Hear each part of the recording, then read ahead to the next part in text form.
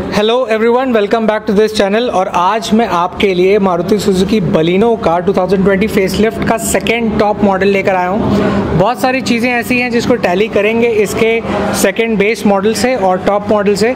पर फ़िलहाल अभी आप छः कलर्स ऑप्शन में से एक जो कलर देख रहे हैं, ये ब्लूइश फॉर्मेशन पे मिलेगा और चार वेरिएंट में अवेलेबल है जिसमें से ये जो है, ये टॉप सेकेंड वेरियंट आता है। अब इसके ऑन रोड प्राइस के बारे में बात कर लेते हैं ताकि आपका कंक्लूजन क्लियर हो जाए।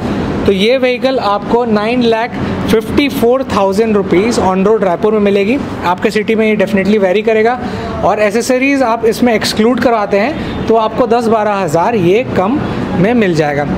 जैसे सामने देखेंगे तो मैं दूसरे चैनल पे इसका लाइटिंग जला के दिखा चुका हूँ कि रात की विजिबिलिटी कैसी है और ये डीआरएल फॉर्मेशन कितना बेहतर लगता है। तो आप मेरे दूसरे चैनल जो प्रशांत मॉरिस नाम से है, उस पर जाके देख सकते हैं। फिर जैसे ये सामने का सेटअप कंप्लीट होगा तो नीचे फॉग लैम्प्स इसमें प्रोवाइड नहीं कराए गए हैं, पर इसमें टॉप मॉडल के कंपेयर में आपको क्रोम टच ज़रूर मिलेगा।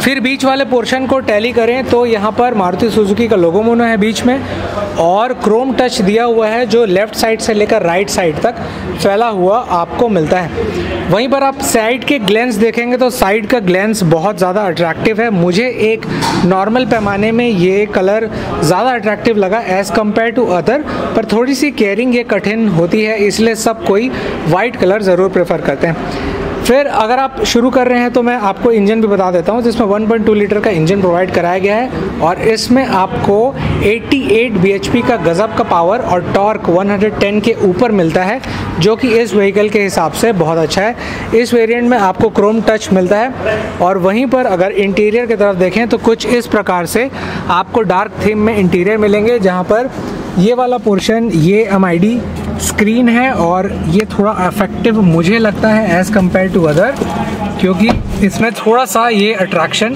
ज़्यादा रहता है। फिर जैसे ही सेंटर सिस्टम के बारे में बात करें तो यहाँ पर सेंटर कंसोल काफ़ी अच्छा है।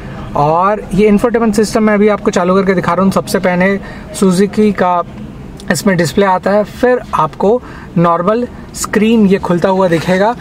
तो ये मैं स्टार्ट स्टॉप बटन एक बार प्रेस कर दे रहा हूँ तो यहाँ पर अब ये खुलता हुआ दिख रहा है, जिसमें एफएम सेट है, और ये सामने का जिसमें एम स्क्रीन में बात कर रहा था, ये है लो फ्यूल का इंडिकेशन दे रहा है, ऊपर टाइम बताता है, थोड़ा सा ब्लर मैं हाफ़ क्लियर कर देता हूँ 24 डिग्री सेल्सियस की जानकारी है left side analogue right side analogue left side में 8000 आरपीएम और राइट साइड में 2020 किलोमीटर पर आर तक की स्पीड का डिटेल बताता है।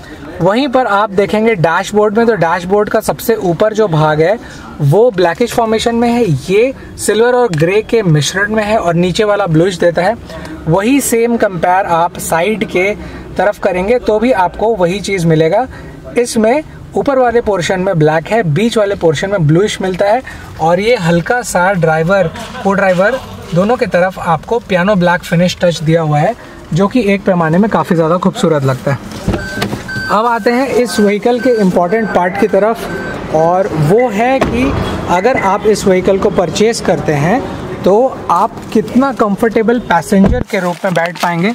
तो मैं फाइव फुट टेन इंच हूँ, और यहाँ मैं बैठ के आपको दिखा रहा हूँ। तो इतना आप स्पेस देख रहे होंगे, लगभग लगभग मुझे मिला है विच इज़ गुड इनफ फिर आते हैं इसके सामने डिस्प्ले की, अगर डैशबोर्ड पीछे वाले पैसेंजर कोई बैठते हैं तो किस प्रकार का ग्लेंस उन्हें दिखेगा? तो पीछे अगर आप बैठते हैं तो कुछ इस प्रकार से आपको लुक देखेगा जो कि एक इस व्हीकल के रेंज के हिसाब से और इस प्राइस के हिसाब से मोर देन सफिशेंट है।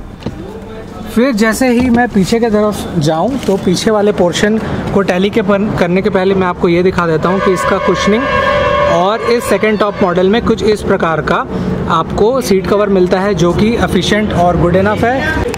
फिर जैसे पीछे के पोर्शन को मैं टैली करूँ तो बैक लैम्प्स का सेटअप कुछ इस प्रकार से है।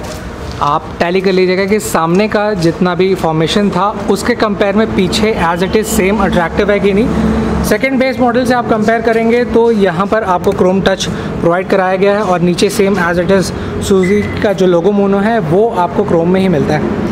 एक ग्लेंस में रात को ये बहुत ज़्यादा खूबसूरत लगेगा, मैं आपको ओवरऑल टैली करके बता दूँगा। कि लाइटिंग रात को कितना ज़्यादा बैकलैम्प्स का सूट करता है और सामने की जो विजिबिलिटी है, उसके लिए भी नेक्स्ट वीडियो मैं बनाने वाला हूँ। फिर पीछे वाले पोर्शन की तरफ़ आए हैं तो एक इंपॉर्टेंट चीज़ को भी टैली कर लेते हैं, वो है इसका बूट स्पेस तो इस व्हीकल में 318 लीटर का गज़ब का बूट स्पेस मिलता है, जो इंडियन फैमिली के हिसाब से बहुत ही ज़्यादा यूज़फुल होगा। जिसका मैं पीछे का जो स्पेयर व्हील है, वो दिखा देता हूँ। तो इसमें आपको 185 65 आर 15 इंच के एक्स्ट्रा स्टेपनी सेटअप मिलेगा जो कि यूज़फुल होगा सफिशेंटली इनफ के लिए और वहीं पर जैसे मैं क्लोज़ करूँ और लुक को देखूँ तो यहाँ पर एक चीज़ नोटिस होता है कि फ्यूल कैप आपको लेफ़्ट साइड जो दिया हुआ है ये इस व्हीकल में 37 लीटर का फ्यूल कैपेसिटी आपको मिलता है जो कि नॉर्मल व्हीकल के हिसाब से मोर देन सफिशेंट है फिर आप साइड का लुक देख रहे होंगे तो यहाँ से वो क्रोम होते हुए सेकेंड बेस मॉडल में वहाँ तक जाता है और एक वे में अट्रैक्टिव है।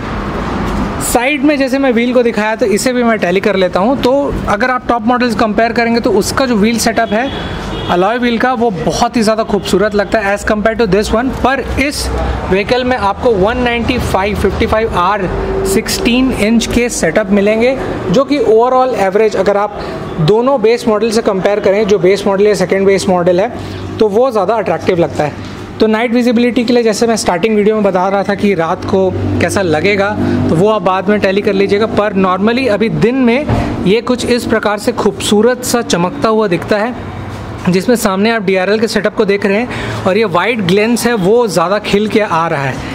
एक अगर नाइट विजिबिलिटी के बारे में अगर आपको कोई वीडियो चाहिए तो मुझे कमेंट ज़रूर बताइए, क्योंकि रात को मेरा ड्राइव का कुछ प्लान बन रहा है तो मैं आपके लिए ये ऑप्शन भी लेकर आऊँ, ताकि आपको कन्फ्यूज़न क्लियर हो सके। सो so, ये था quick walk around about the Baleno second top model आपको कैसे लगा? कलर प्लस वेरिएंट मुझे नीचे कमेंट्स में ज़रूर बताइए। और मोस्ट वैल्यू फॉर वेरिएंट आपको कौन सा लगा? कमेंट डाउन बिलो और इसके पहले मैंने दो वेरिएंट डाल चुका है तो अगर आपने वो वीडियो नहीं देखा है टोटल एक्सपीरियंस के साथ वाला तो ज़रूर देखेगा see you in the next video